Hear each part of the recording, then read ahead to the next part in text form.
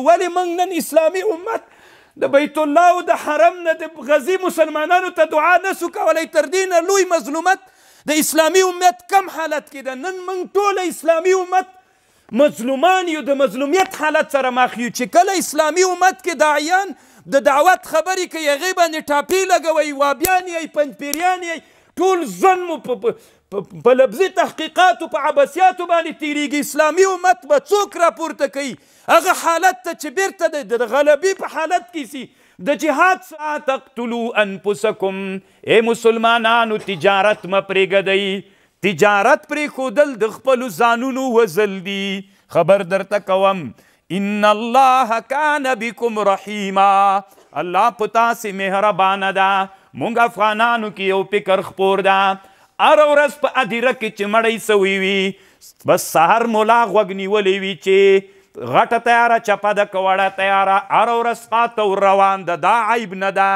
چي ورته ووایې وي دا وابیان دي چي نه یې مني اما که د تجارت خبره ورته وکړې چي تجارت وکړه بیا دی وایي چي کوم ملا تجارت ته ورسي وایي دا علم ووهه علم ازار ووهه تجارت ته ځي او هره ورځ چي ادیرې ته روان وي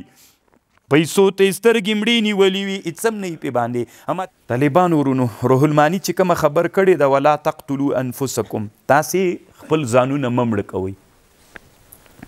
دا د سچلی او صحابي په غزوه د ذات السلاسل کې د شپې یا خشپه ول احتلام ورته پیک سوی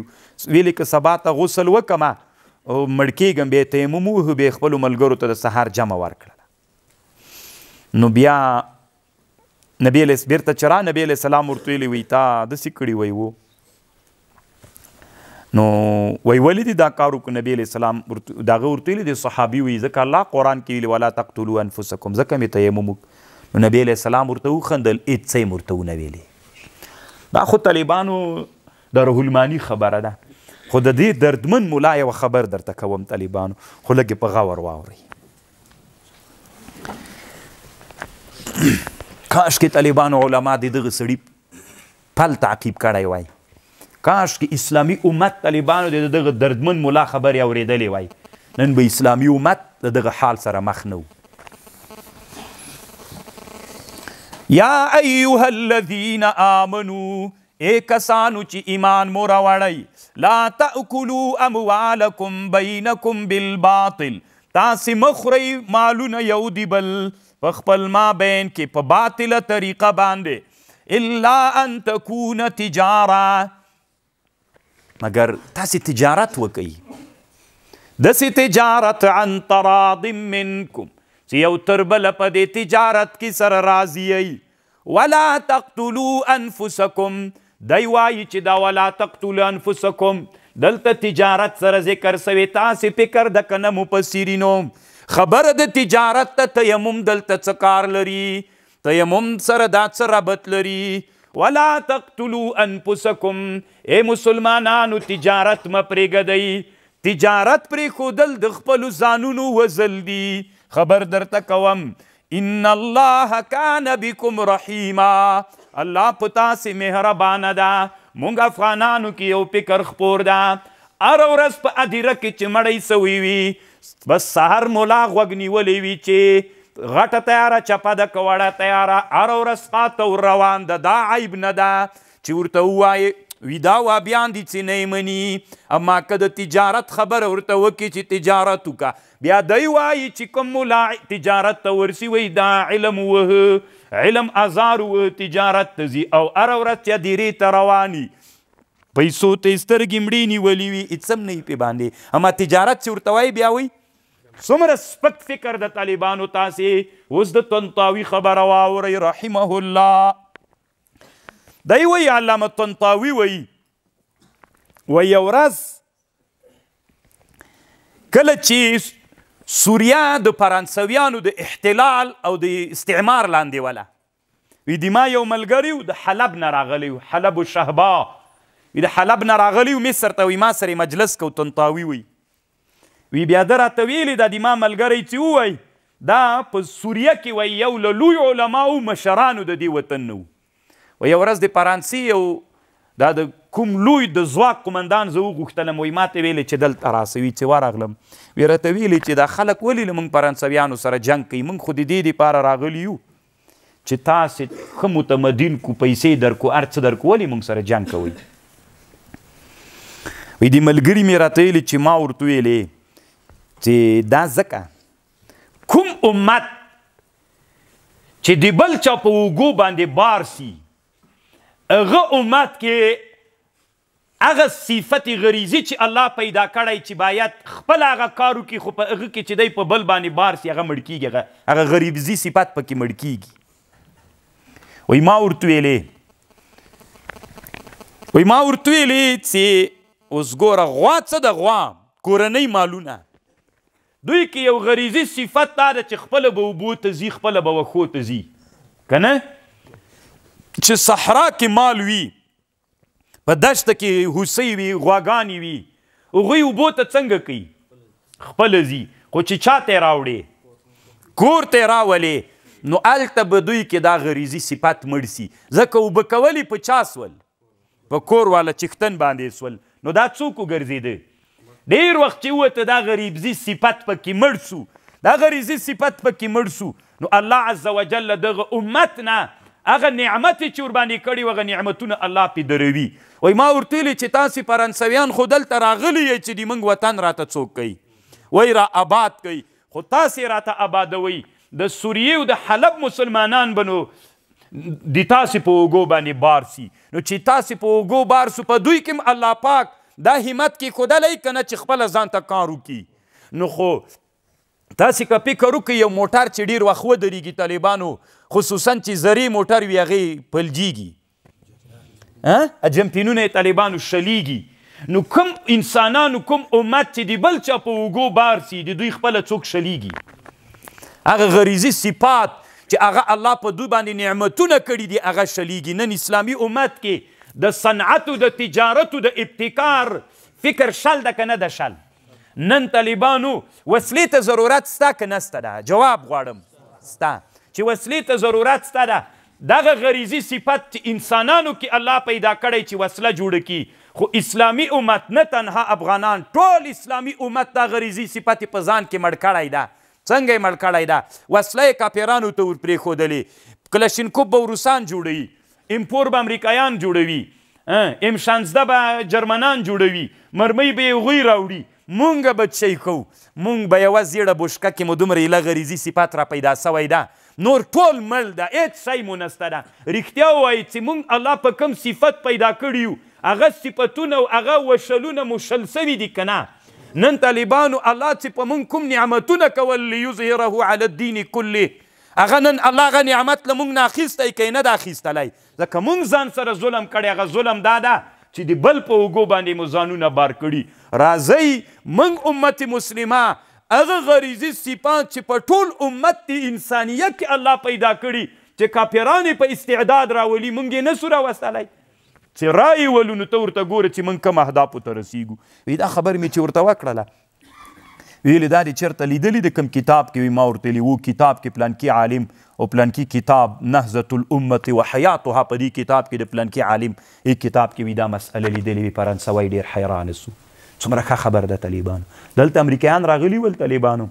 خلکو ویلی ولی تاسو له وطن نه سړی مونږ ته څوک جوړوي د عاقل سړي پرېږ د جهاد پرېږ د اسلام تقاضا پرېږ د انسانیت په تقاضا سره خبره کوم انسان الله دسې پیدا کړی چې د انسان کې کوم غریزي صفات دي هغه باید راځوندي سي شل نه سي ته چې په بل باندې بار کې څنګه کیږي دا شلیږي او چې انسان په بل بار سي هغه انسان د انسانانو بدې سیږي دا که نه تاسو سره په کوټه کې چې کم طالب پېشلمي ته شی تیاروي هغه په ټولو ډېر ګراني ټول چې پروتي که نه همداسې پیاله هم خولې ته ورته رانږدې کړي د ټولو بدې سیږي او هغه سپک سړی هم دا بی غیرته سړی هم دا ده چې خپل غریزی صفات یې په ځان کې مړه کړي دي دا که نه طالبانو د جهاد په سنګر کې به چې کوم مجاهد ټولو ملګرو ته ډوډۍ تیاروله ټول کارونه به یې کول په ټولو به ګران وو که نه هغه څوک چې په بل باندې بار سي هغه د ټولو بیا بد ایسیږي بد ایسیږي که نه بد ایسیږي او الله عزوجل هغه انسانان چې هغه خپل غریزي صفات نه پرېږدي چې مړه سي باید خپل غریزي صفات څوک سي راځوندي سي پرون موږ تاسو ابن خلدون په مقدمه کې طالبان ویل کم ټکر ته پامو چې اذهب انت وربك فقاتلا تا او رب دې ورسې جنگ وکي ان ها هنا قاعدون موږ دلته ناس دي درته نه صفت باندې الله پیدا کړی ته د استعداد پتا کې استورسه مقابله ته کنه ته را جیګ سه ته ورسه دا خپله غریزه دې مه مړه کوه چې په حرکت باندې سې الله دومره عجیب ذات ده کله چې انسان اراده وکړي هغه انسان الله د انسانانو اراده څنګه نه کوي دا اوس که لس نفره شل نفره په دې فکر پیدا سي چې موږ په افغانستان کې د ټولې دنیا د پرمختللې ډرون طیارې وسله برابرولای شو، په رب العالمین درته قسم کوم چې دا حرکت الله نه ناکاموي، ناکاموي یې؟ دا تړون الله پاک سلطنت و بادشاهي ته رسوي، که دا تړون الله ناکام کړ چې هر څه راته وایې خپل هدف ته به رسېږي او امت مسلمه ته بیا څوک نصیب کېږي؟ قدرت اوس طالبانو تاسې غوږ ورته ونیسئ. دای څه وی تنطاوی وی دلته مولایان وی چې ولا تقتلوا انفسکم وی خبره د تجارت ته دی وی ولا تقتلوا انفسکم او رښتیا وی طالبانو تاسو غوږ ورته ونیسئ الا ان تكون تجارتا مگر چې وی تجارت عن تراض منکم تجارت باید وکي پر رضا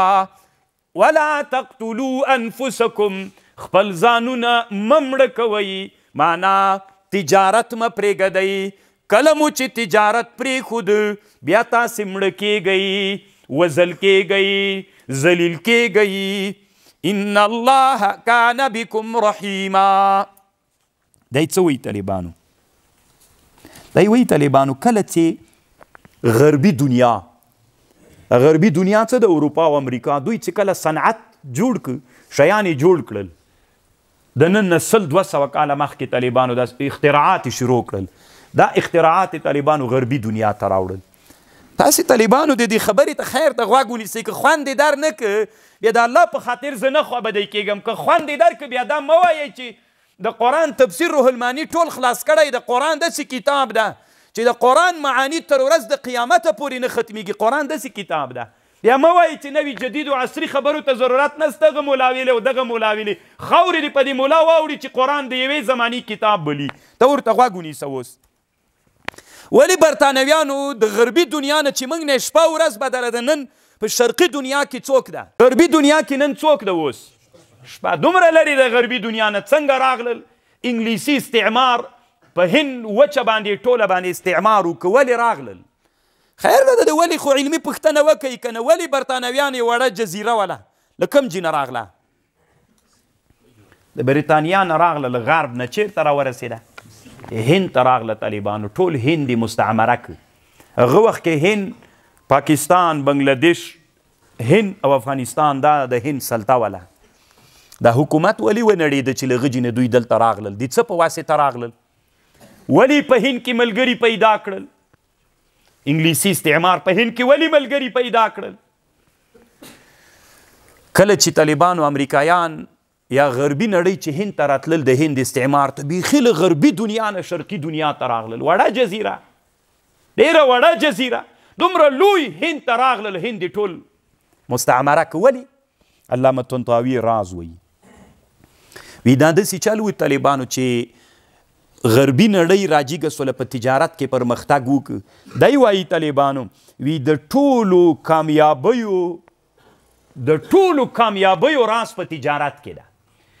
که ته جنگ په مخ باندې بیایې چې تجارت په مخ نه تللی جنگ نسې کولی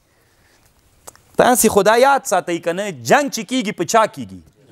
چې تجارت او پیسې به لري چې اوس جنگ دوام پیدا کی چې شاته پسې پیسې ونه لري کیږي جنگ جنگ په چا کیږي په تجارت باندې کیږي نو هغوی راجیک سول طالبانو تجارتونه یې وکړل دا تجارت عین چاته راوړ عین هند ته راوړل هند ته راوړل په هند کې شرکتونه خلاص کړل چې شرکتونه خلاص کړل د تجارت په واسطه باندې طالبانو انسانان خپل کړل خلک دې ته خاضع سول خلکو دې ته غاړه کېښوده چې برتانیا ډېره یو لوی ځواک ده که تجارت کې ډېر په مخ باندې تللی ده دومره نادر صنعتونه جوړوي د ریل ګاډي پټلۍ له هند ته طالبانو انګلیسانو راوړله هغه یې دلته راورسوله، نو چې کله دا تجارت په هند کې سو، د دې شرکتونو په واسطه باندې څوک سو؟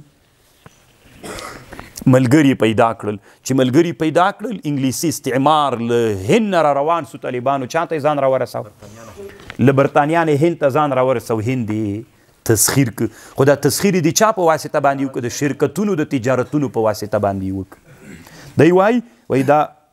غاندي نه و دا ګاندۍ د هند یوه واکمنه تېره سوې طالبانو ډېره هوښیاره ښځه تېره سوې نو ده وایي داسې چل وکړ چې د د ټولې غربي نړۍ تجارتونه په چا کې بند کړل په هند کې چې تجارت یې بند کړ نو د هغې قوت ختم سو، د غربي نړۍ اعلان یې وکړ چې دلته په هر څه شي کې موږ د چا تجارت نه غواړو، د غربي نړۍ ته. ای مسلمانان نه ول طالبانو کافر ول خو د عقل په تقاضا باندې هلته چې انګلیسانو هند مستعمره کړی و دا نه چې مسلمانانو ټول هند کفر اسلام ټول مستعمره و غاندي په دې فکر وکړ چې د استعمار نه چې موږ خلاصېدای سو څنګه خلاصېدلای سو ها چې تجارت یې وربند کو کله چې تجارت وربند ک د چا تجارت نو طالبانو له استعمار نم څوک خلاص ول دی وی علامه طنطاوی وی څومره ښه خبر کوي طالبانو دی وی وانهم قوم لا يعلمون منه الا قليل قل ولذلك اراد الغاندي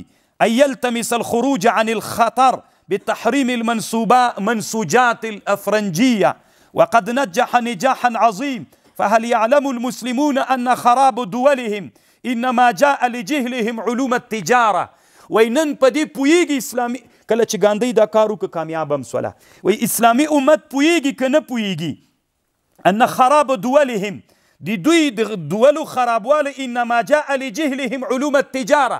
نن اسلامي امت تجارت په علومو نه پوهیږي وانهم قوم لا يعلمون منها الا قليل التجاره تسبق الحرب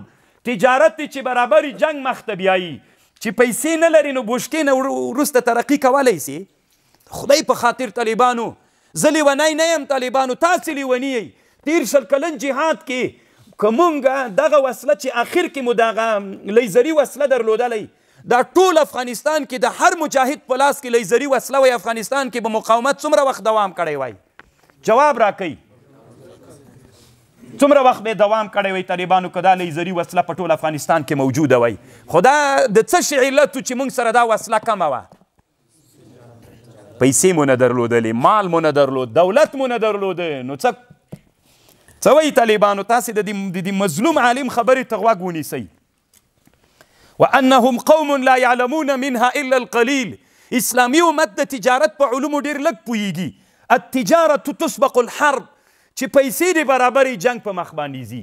که موږ دلته په افغانستان کې په تېر شل کلن جهاد کې تجارتونه درلودلای، ښې پیسې مو درلودلای، نو طالبانو وسله به مو تر دې نه ډېره پرمختللې وله، د راکټ مرمۍ مو نه درلودلې، ډېرې په سختۍ باندې مو اخیستلې، که دا دومره راته پرېمانه وای طالبانو چې. چې وله یې توکل په خدای چې هر څه کېدل، ته بیا ګوره کنه چې څومره وخت کې دوی شکست خوړه، بارود څومره په سختي پیدا کېدل، بوشکه او بیچارګۍ څومره په سختي پیدا کېدله، څومره سختۍ یې سره ول، التجارة تسبق الحرب فما ملك الإنجليز بلاد الهند إلا بشركة إنجليزية هناك وعادة الفرنجية عادات إنجليز تغلغلت في قلوب المصريين والسوريين وجميع السكان الشمال الأفريقاء وهذا هو القتل ته قتل څه شي ته وای خدا قتل د کنه چې ټوله غربي نړۍ راغله په افریقا کې په سوریه کې په هند کې شرکتونه راوړل د دې په واسطه باندې په انسانانو کې نفوذ وک چې نفوذ وک ورسته راغلل استعمار کې استعمار قتل د قبل شي نن اسلامي امت د غلامیت سره مخ ده نن چې غربي دنیا ارجای د افغانستان وو غواړي امریکا بمبارواله سي قتل د قبل شي دا اوس چه امریکا هر جای د افغانستان وغواړي بمبارولای سي قتل د کبل شای او ته چه خلاصیدلای سي لدی قتل نه پچا باندې کیدلای سي ځکه التجارت تسبق الحرب تجارت څوک په مخ باندې بیایي جنگ چه په مخ باندې ځي جنگ چه ترقی کوي پچا باندې کوي هذا هو السر هذا هو السر تعقب التجارة بالتحذير من قتل النفس ولما ولما كان ذلك التحذير من فضل الله ان الله کان بكم رحیما دغه آیات کې وی وی الله تاسو ته ویل چې ای امت مسلمه او راجک سي تجارت وکي مزانونه مړ کوي چې نه تجارت کوي کله مو چې تجارت وک په حرب او په جنگ کې به پرمختګ وکي ان الله کان بكم رحیما د الله په تاسو باندې څوک ده مهربانه ده لږ په تنکیږئ مه طالبانو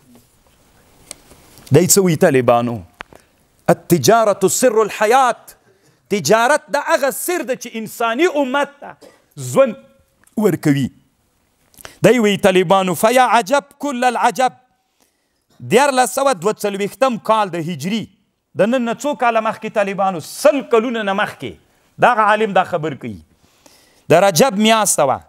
د سهار د لمانځه نه مخکې وی زه دغه لیکنه کوم یو زرو درې سوه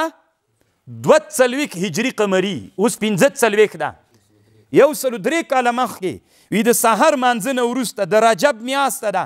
اتم د رجب ده وی زه دغه تفسیر لیکم سل کاله مخکې امت مسلمه ته ناری وهي څه ورته وایي چې اے امت اسلامه د الله په خاطر باندې تاسو دغه آیات ته قران کې فکر وکړئ دی وایي چې د دنیا هغه وخت کې دا نه وایي د دنیا د لوی جنگ جهانی تیر سوی وو هلته د دنیا لوی جنگ جهانی ټوله مبنا په چا باندې ولا په تجارت د دنیا کې چې د امریکایانو په یوریشیما او جاپان اټوم واچاو هلته دا جنگ ټول چا هغه کو قوي کاو د هغوی تجارت او د دوی تجارت تجارت قوي کاو نو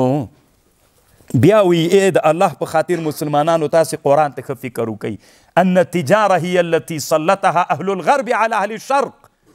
دغه تجارت ده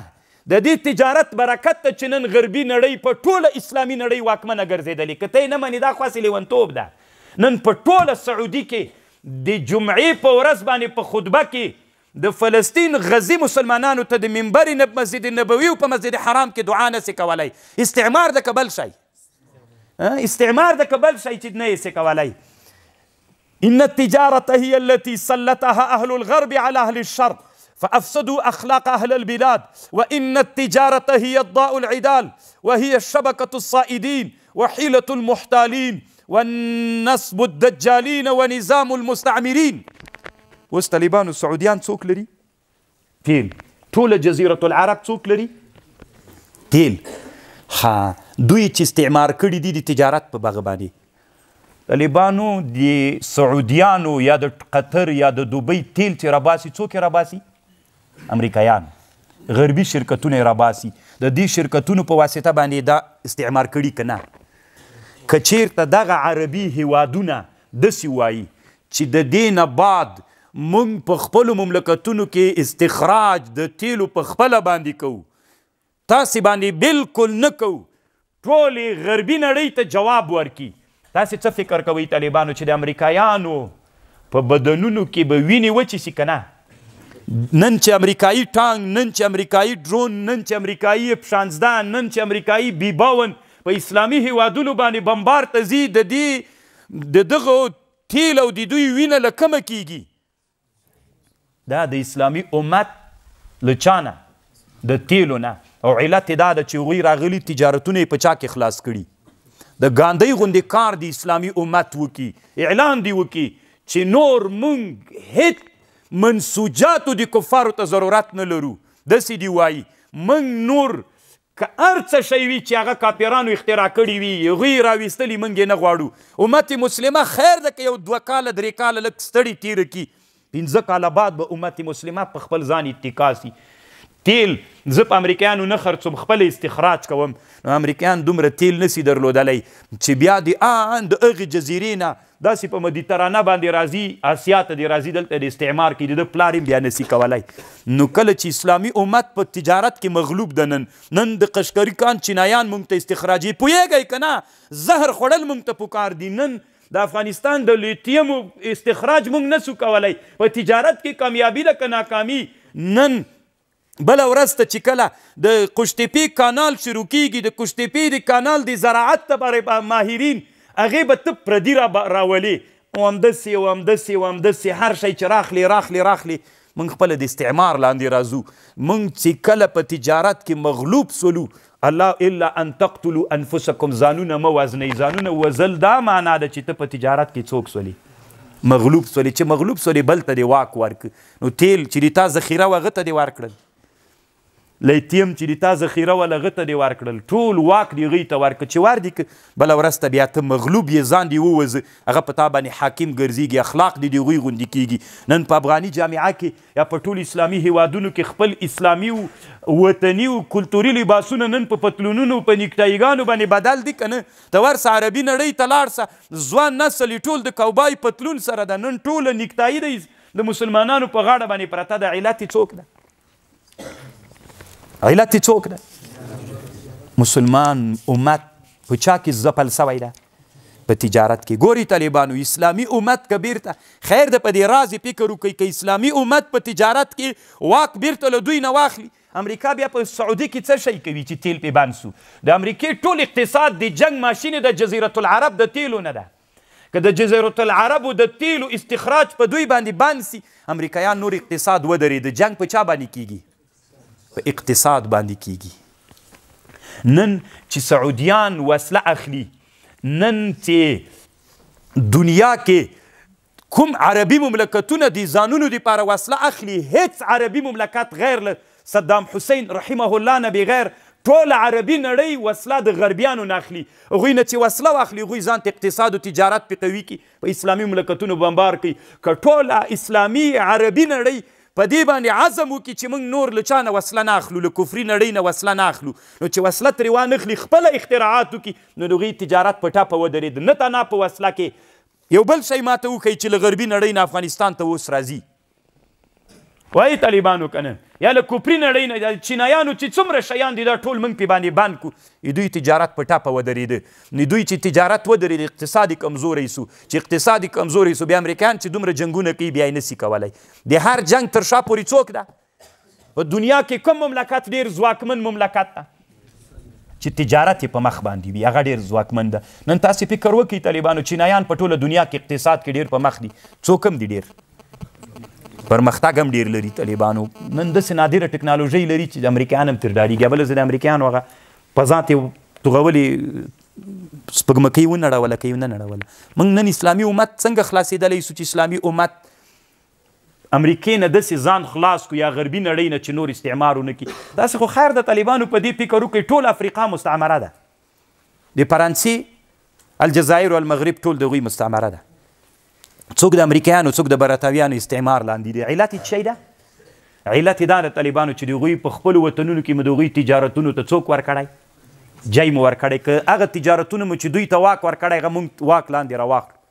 نو بيا دا دومره وسله چې غربي نړۍ جوړوي دا وسله ټوله پې بنده سي اقتصاد يې صفر ته وي بيا برتانيا په چا بمبار نه سي کولای بيا فرنسه استعمار نه سي کولای چې په امريکې باندې استخراج د تيلو د سعودي بند سول بيا د دې نه بعد نور امريکايان په چا بمبار نه سي کولای ځکه چې پيسې نه مسکين ته ولې مسکين وايي وي د سکون نه ده ولې سکون؟ ځکه جای په جای ناسته پیسې نه لري، چې پیسې نه لري نو چېرته به لاړ شي؟ چې پیسې درسره شي کنه کله به دوبۍ کې ګرځې، کله به هلمند کې، کله به کندهار کې، کله به جل اباد کې روزه به درباندې خوندوره تېرېږي کنه؟ څوک سړی ګرځوي؟ پیسې سړی ګرځوي. رښتیا وایي طالبانو د دغه دردمن عالم چې کومه خبر کوي یا ایها الذین آمنو لا تأکلوا اموالکم بینکم بالباطل الا ان تکون تجارة عن تراض منکم ولا تقتلو انفسکم ای اسلامی امته راویښ سئ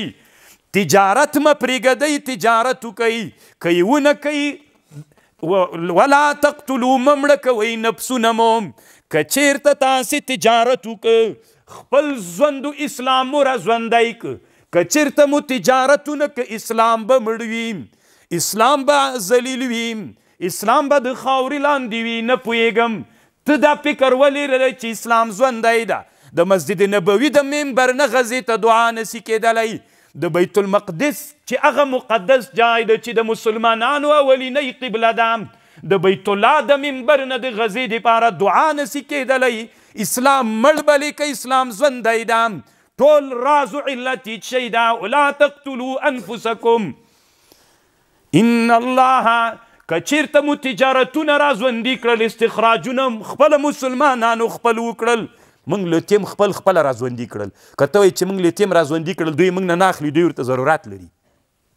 که موږ د سعودي تیل په خپل را ژوندي کړل طالبانو سعودیانو خپل را ژوندي کړل که ته وایې خرڅېږي نه غربي نړۍ تیل نه لري له موږ نه اخلي د دې موږ تجارت به په دوی سي اقتصاد به د موږ پیاوړی سي نو چې اقتصاد د موږ پیاوړی سو جنګ به هم د موږ پیاوړی کېږي کېږي که نه جواب راکړئ طالبانو هسې به دودوګان ماته نه کینئ ځکه موږ دې ته ضرورت لرو چې اسلامي امت بیرته خپل برم او خپل حالت ته ورسیږي د خدای په خاطر باندې ټول عمر به په مدارسو کې په لفظي تحقیقاتو باندې سو ولې موږ نن اسلامي امت د بیت الله او د حرم نه د غزي مسلمانانو ته دعا نه سو کولای تر دې نه لوی مظلومت د اسلامي امت کم حالت کې ده نن موږ ټول اسلامي امت مظلومان یو د مظلومیت حالت سره مخ یو چی کله اسلامی امت کی داعیان د دعوت خبری کوی هغی باندی ټاپی لګوی وابیان یی پنجپیریان یی ټول ژوند مو په لفظی تحقیقاتو په عبثیاتو باندی تیریږی اسلامی امت به څوک راپورته کوی هغه حالت ته چی بیرته د د غلبی په حالت کی سی د جهاد صفونه یی مستحکم سی اسلامی امت دا خو څه کوي چې دوی ونیسي بیرته اسلامي امت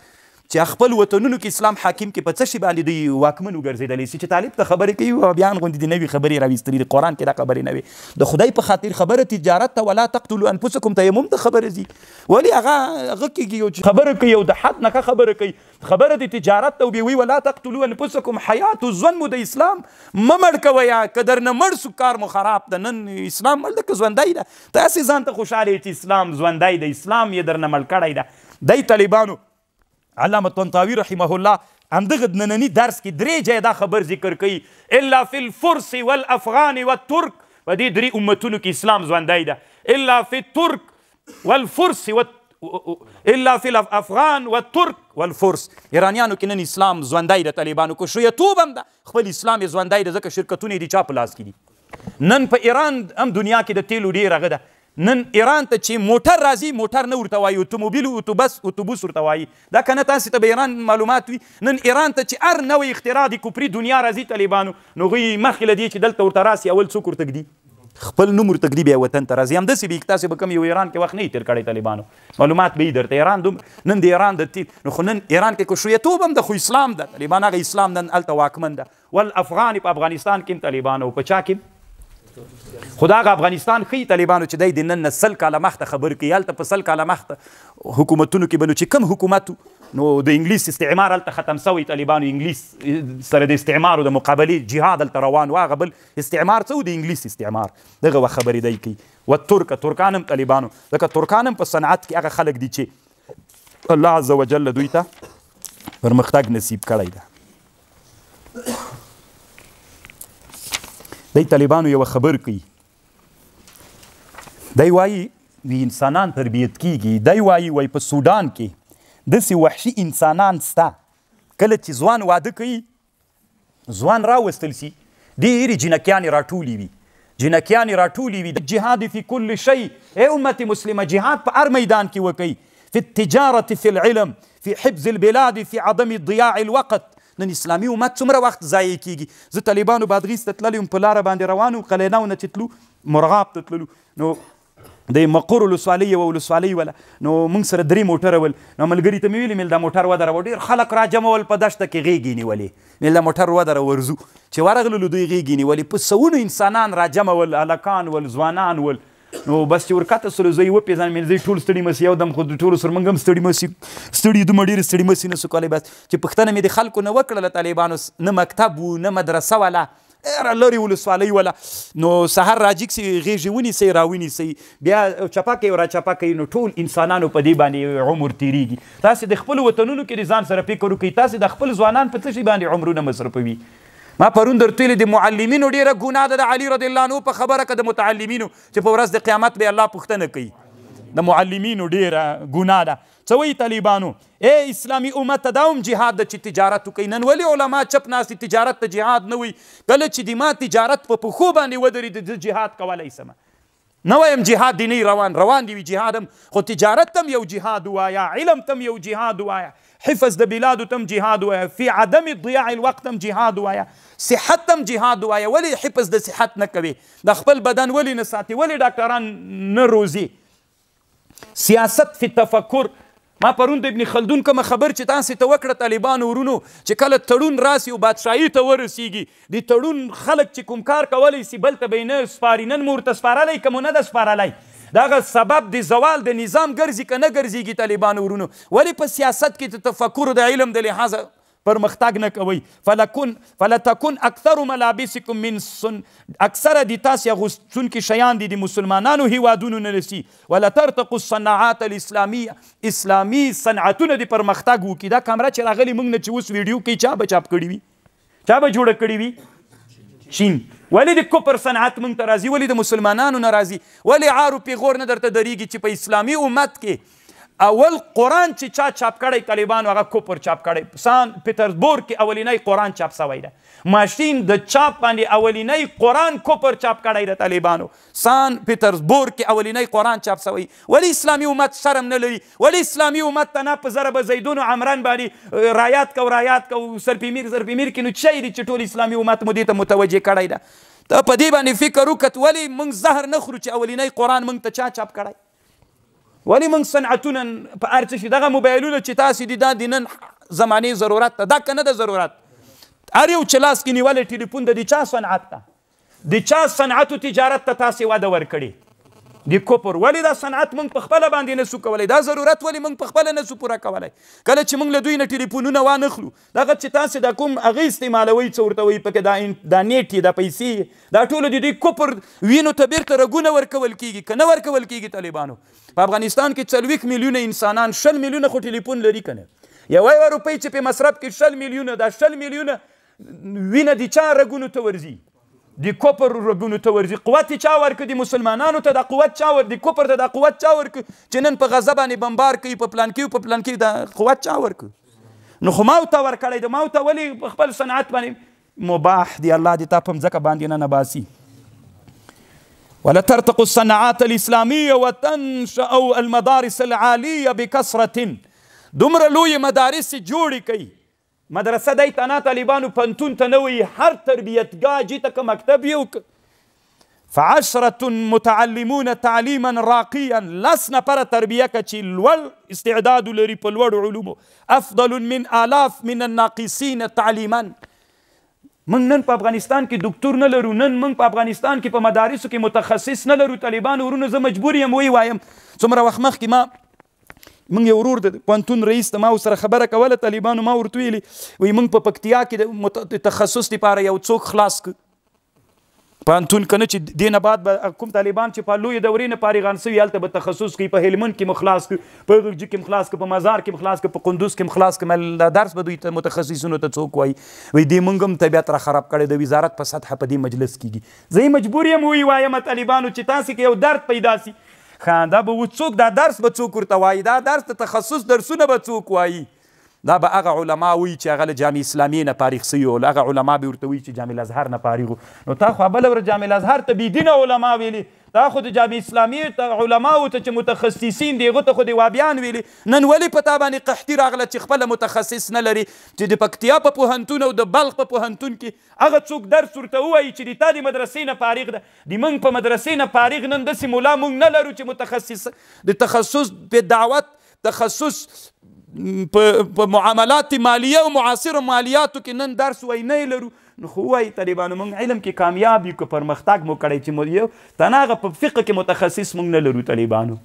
په عصري مالیاتو کې طالبانو نن متخصص استاد لرو چې پکتیا پانتون ته یو شل دانی استادان ورته پیدا کو چې هلته د تخصص درس فی التنا په اسلامیاتو کې نور خو پرېږده، فی الدعوت، فی التفسیر، فی العقائد، داسې څوک چې هغه دوکتورا ولري، نه یې لرو، په خپلو مدارسو کې که وي یا به د ازهر نه وي، یا به جامعه اسلامیې نه وي، یا به د پاکستان نه وي، یا به د هند نه وي، یا به د بل ځای نه وي، ولې موږ په مدارسو کې نه لرو؟ موږ پرمختګ کړی که شاته پاتې یو؟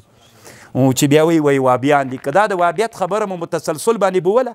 یاد ساتي امت مسلمه به تر دې نه هم ذلیلي خوشحاله یې ځان ته موږ په مخ باندې تللي یو تر موږ اسلام نه نن مسلمانانو نه ذلیل مخلوق په دنیا کې نسته ده دومره موږ مظلومان دومره نن ذلیلان پیسې موږ نه لرو سوالونه موږ کوو چندې موږ کوو مدرسه موږ په مخ باندې نسو بولی تاسې خو لاړ سئ د نور اسلامي د کفري دنیاوي پوهنتونونه وګورئ چې هغوی خپل هغه تعلیمي ځایونه کوم حالت ته کړي نن د موږ مدرسې محتاج دي موږ نن جومات نه لرو نن موږ خپل شاګردانو ته خرچه نسو برابرولی مخکې خو چې حکومت نه و راسره څوک مو نه و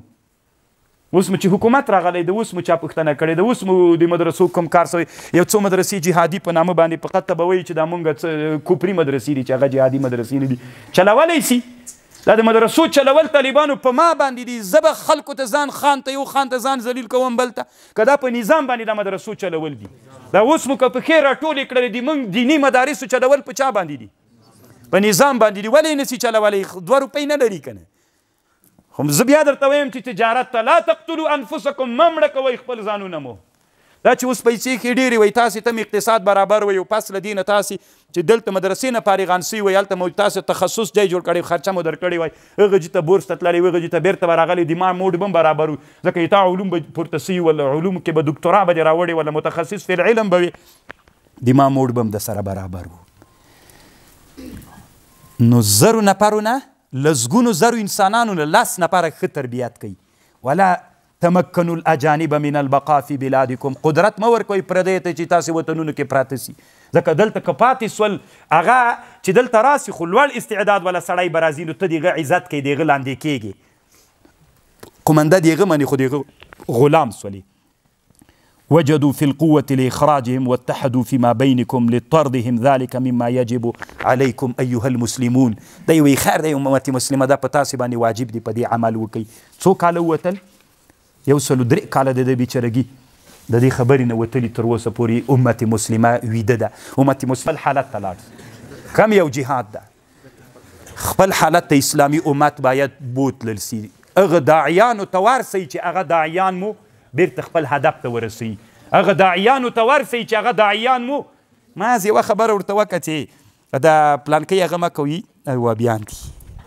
بس ټول عمر په وابیانو پنځپیریانو کې تیر سو تقریر کوي یو خبره چې درنه غلط سی ودلی دا غي عربي غلط ویلې بس دا غلطیا خو دې غلطیا په سیم پیخې رالو چې کړي ټول افغانستان مو په باندې ونیو ولې دا غلطیا چې موږ نن ذلیل یو؟ ولې دا غلطیا چې اسلامي امت نن تر مظلومیت لاندې ده دا غلطیا نه بلئ تاسې؟ دا چې نن اسلامي وطن ټول افغانستان خان وطن افغانستان ده نن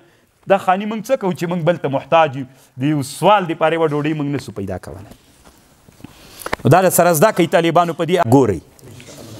یا ایها الذین آمنو لا تأکلو اموالکم بینکم بالباطل الا ان تکون تجارة عن تراض منک ولا تقتلو انفسکم مه مړه کوئ نفسونه مو په ترک د تجارت کله چې اسلامي امت تجارت وکړ دا خو وسیله وه اسباب برابر سو ان الله کان بکم رحیما بیا الله په تاسې باندې زړه خوږوي. بیا الله په تاسې مهرباني او رحم کوي، بیا مو له مظلومیت نه خلاصوي، ځکه د الله پر امین تاسې ومنل. ومن یفعل ذلک، که چا وکړ دا قتل د نفس، ومن یفعل ذلک، که چا وکړ خپل ځان یې مړ کړ، تجارت یې ونه کړ، دا عدوان او ظلم ده، فسوف نصلیه نارا دا خلق به مونږ جهنم ته ننباسو وکان ذلک علی الله یسیرا دا په الله باندې اسانه ده ولی زکه دیتا زعیم دیتا مشر دی داعی لاسا ټول امتی مسلمه کندی تلاړو رستر بلی نه ټیټیږي